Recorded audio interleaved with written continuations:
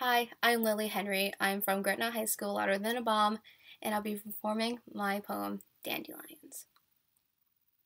I am a dandelion seed thrashed against the wind, a weed, nothing different.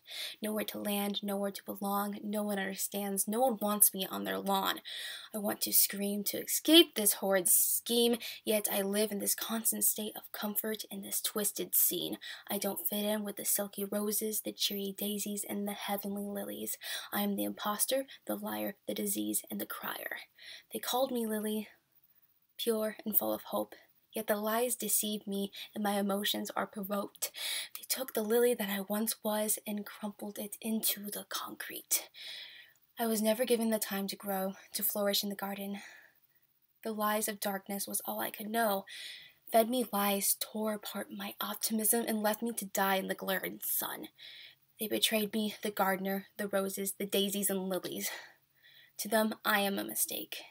The fields that I've wandered welcomed and stretched forth an invitation, but once they saw me bloom, they were full of condemnation. Why can't I go back? Why can't I be an innocent lily?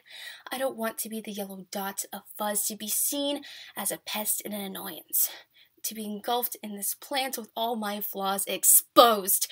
I don't look like the other flowers, poised and elegant. I am out of my element. No matter the hours, I'll still be this yellow vine instead of a white lily that haunts my memory. Memories return like bitter deja vu. Reality takes root, and the tears threaten to come through. I fall to my knees, the realization on my face, and I have no other choice but to deteriorate.